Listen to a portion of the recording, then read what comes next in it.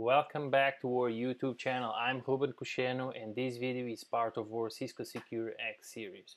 Previously we discussed what is Cisco Secure X, interim architecture, possible integrations and FAQ. In this video we are going to learn what are the available regions, what authentication methods are available such as security sign-on, Cisco ID, Threat Grid, Office 365 and Threat Response slash AMP how to set up an account on Cisco SecureX platform, uh, a walkthrough uh, in terms of the dashboard, system services components, uh, overview. So before we start, so there are on, on your right, so it's going to have uh, three main regions. So Americas, Europe, Asia Pacific, and Japan and China, as you can see. So from the, it's important to think how your SecureX is going to hook up on the other platforms from the GDPR, GDPR perspective. If you, if you do have environment in a particular region, it will be uh, more sensible to choose as well SecureX under that region.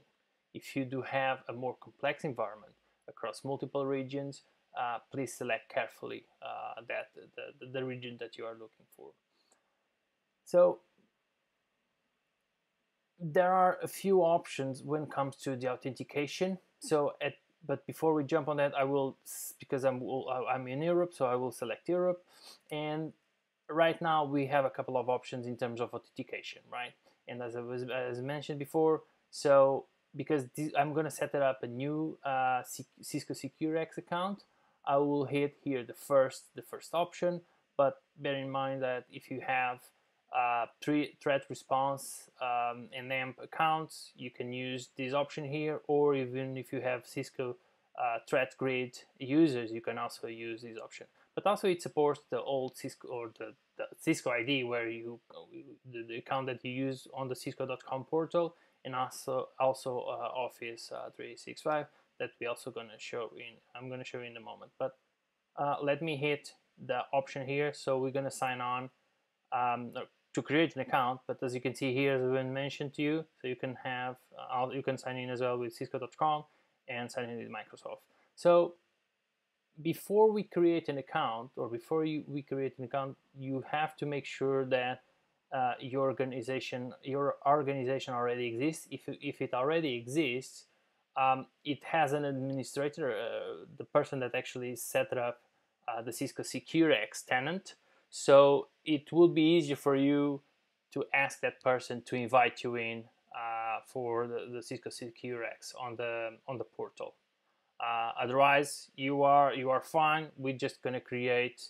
If you are on your own, we're gonna create um, your own. You're gonna create your own tenant uh, using um, this this procedure. So because I wanna create a, a fair new user I will hit here create a secure sign-on. If you uh, have already a user, you kind of put here your username next and we will ask you for uh, for your password and etc.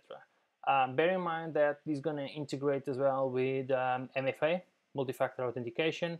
For this case, um, is already in the platform that we're going to have to use uh, Cisco Duo, a Cisco Secure MFA platform from um, from from Cisco okay let's hit here the secure X sign on. Here we go. So I'm gonna create here my my account.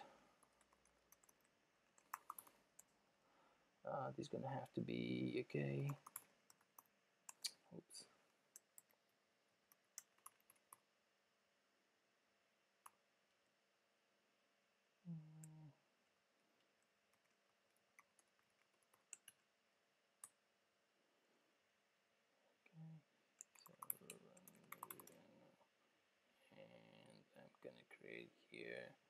Um,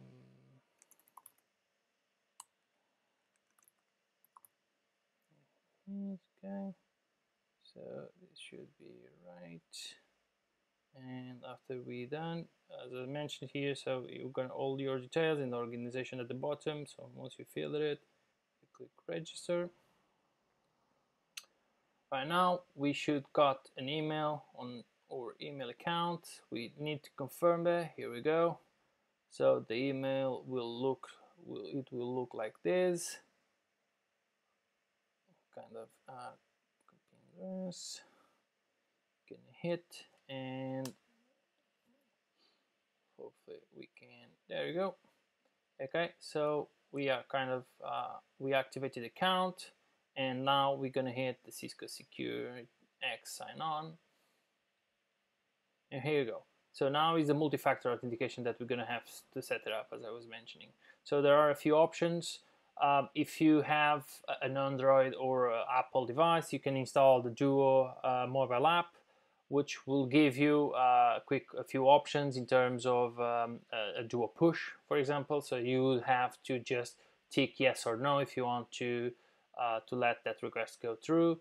Um, or you can also have uh, SMS and, and, voice. If you don't have any any fancy device, um, that's not a problem because we can also do voice calls, okay, to authenticate.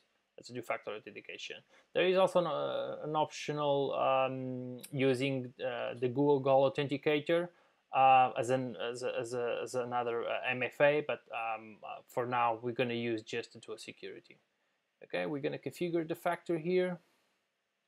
Going to ask you for our number. I'm going to start setup. What device we are using? In this case, I'm going to use a mobile phone. It's going to ask for my, I will select United Kingdom and my number.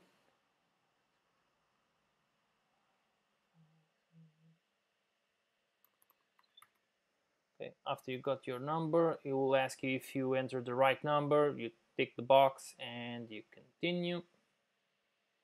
Now, at this point, you're gonna you're gonna pick and choose what you want to do. If you want to uh, have a call or a text, I always prefer text. It's easier and faster.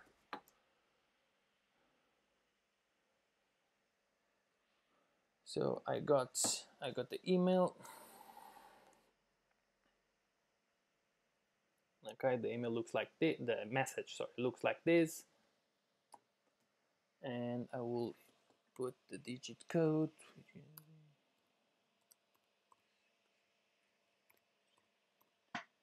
I will verify and hopefully it accepted and I will hit continue and now I will hit so as you can see here you have um, the, the, the, the, MFA options are the duo push and call this device so because I have already uh, duo uh, on my mobile phone I would select this one but I will actually for this I will select the call this device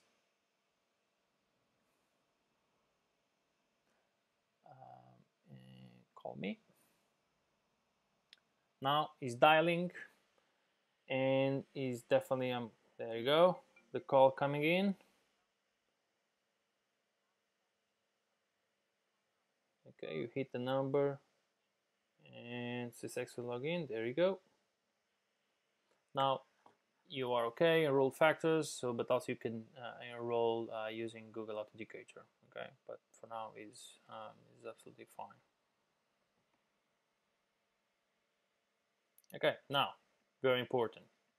So this is where you're going to set up your organization, okay, on the SecureX. So let's go ahead.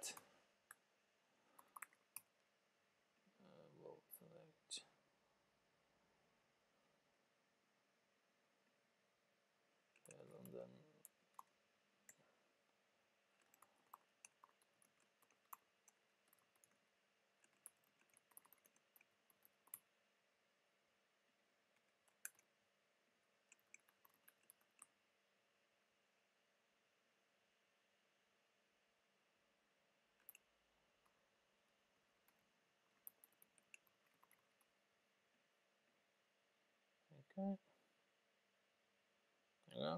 So at this point, um, at this point, um, we have our account set up, um, but to actually activate the account, we have to configure a product to act activate this account. Okay, so uh, we will just do it in a minute. Let me actually select here this option. I think it's important as well. So as you can see here, um, on your on your um, on your settings you're going to see here admin so your role is the admin for for this organization so you can see which in which role you are in um, you can see what method you are getting authenticated from and the color theme.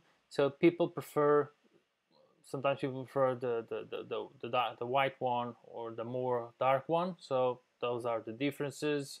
Um, and also not less important is uh, the system services component. So this is the backend of the Cisco uh, SecureX.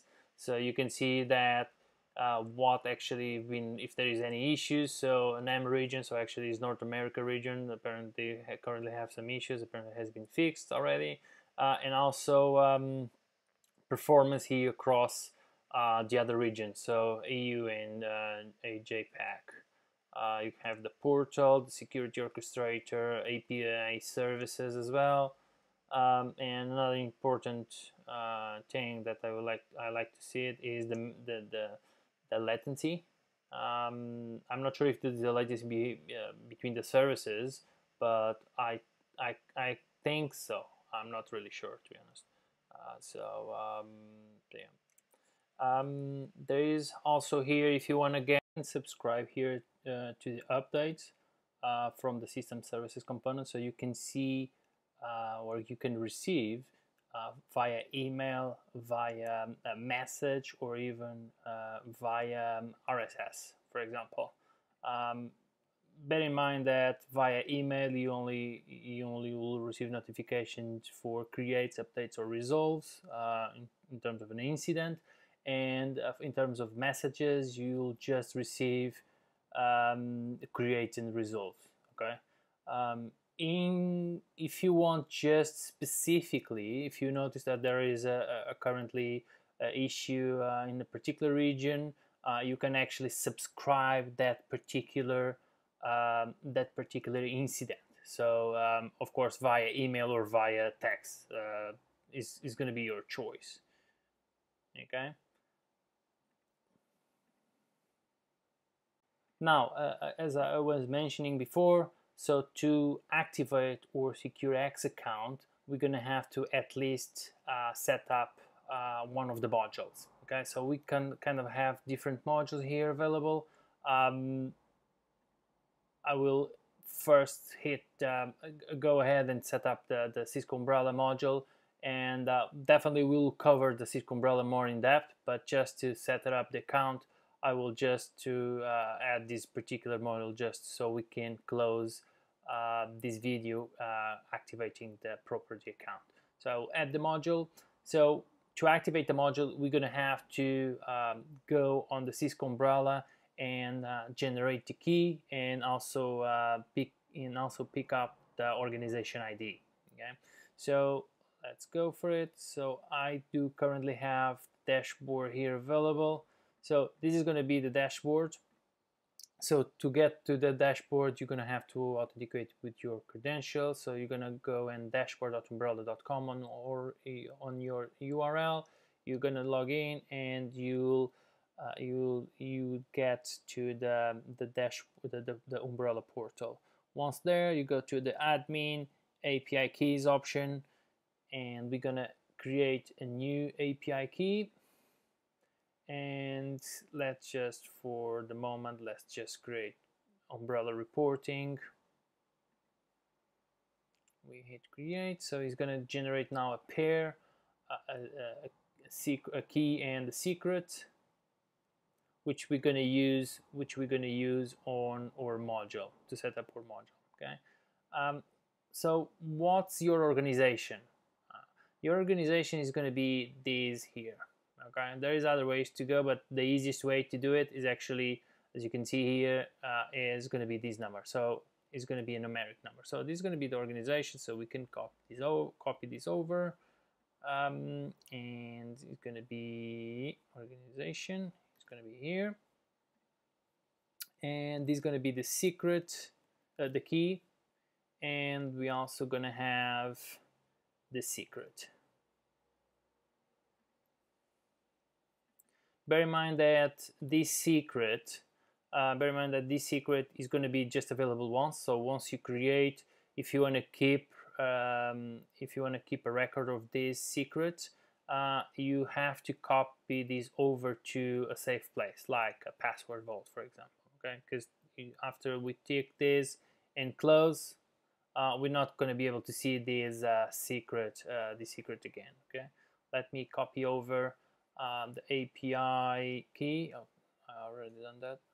Uh, let's copy the secret, and if I close it, um, and as you can see, you're going to be able only to see the key not the secret anymore.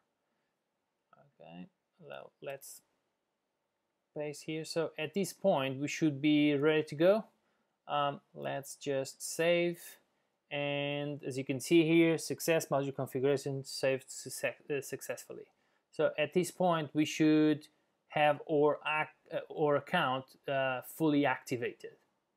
And the way that we confirm if the module was properly set up, we confirm here the button confirm configuration and hopefully everything should be completed at this point. Just there you go. So your account has been activated. So congratulations. You are ready to start using your secure uh, X um, platform. If we go ahead and click on the button we're going to get redirected to the Cisco threat response. Jump to the Cisco Secure X. You can click here directly or go via security.cisco.com on your URL security.cisco.com on your URL and hopefully after we sign in with the security X sign on as we set up our account with we should get our Cisco Secure X congratulations if you want to learn more, please subscribe our channel. Thanks for watching.